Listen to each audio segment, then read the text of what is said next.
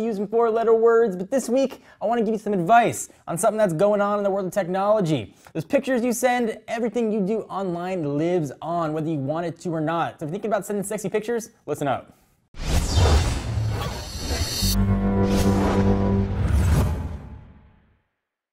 So I'm sitting here in the tech world at the ripe old age of 33, which I realize is probably a little older than most of you guys watching this video. So I'm gonna put on my grandpa glasses, I'm gonna dye my hair gray, we're gonna sit by the fireplace and let's have a talk.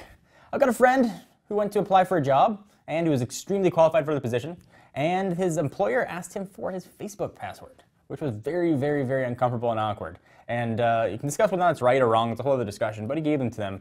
And they went through his Facebook photos, and they found pictures from several years ago that might be deemed inappropriate, and he did not get the job. They didn't write, come out and say it was because of those Facebook photos, but one good reason they at least played a part in why he didn't get that job. And I'm thinking about all the talk about Snapchat turning down a ridiculous amount of money, and I'm thinking about what you guys use Snapchat for. So let's have a talk about what you're going to do with your phone. Technology is everywhere. I'm probably part of the last generation that remembers not growing up with the internet. It wasn't all that long. I distinctly remember getting AOL and Prodigy for the first time and getting dial-up internet. So I didn't have sort of these issues and I didn't have the technology available when I was, you know, 12, 13, 14, 15.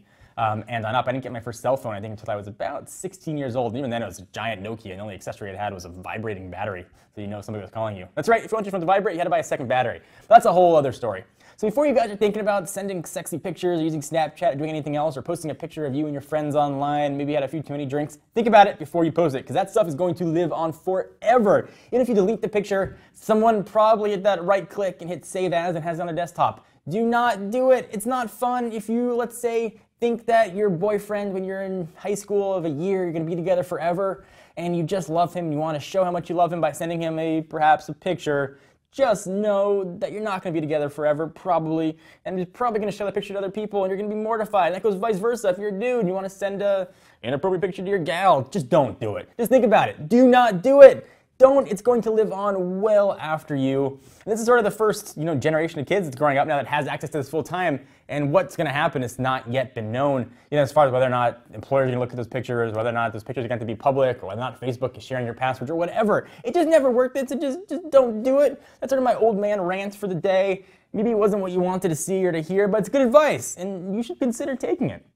Let me stop for a minute to thank our friends and sponsors at Forza Motorsport 5, only on Xbox One, coming November 22nd.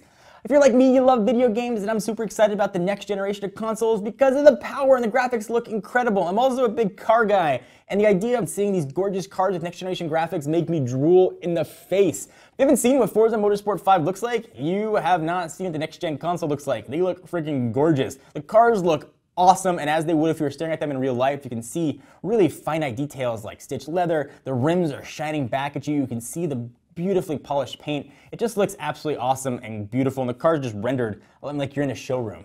If you're ready to race, Forza Motorsport 5 is going to be available on November 22nd and only on the Xbox One.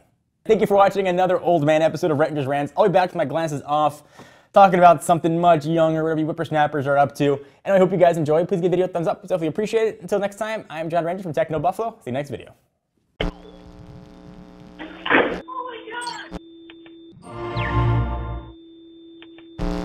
What's up guys, it's Jon again. Just wanted to let you know that if you liked what you saw, I hope you did, we've got two other shows that go live every single week, come rain, shine, sleet, or snow. Ask the Buffalo, where Ashley Esqueda answers your tech questions, and a rumor roundup, where yours truly tells you about all the best rumors in the gadget world. Click the text below that says subscribe, and check out our other shows by clicking right over here.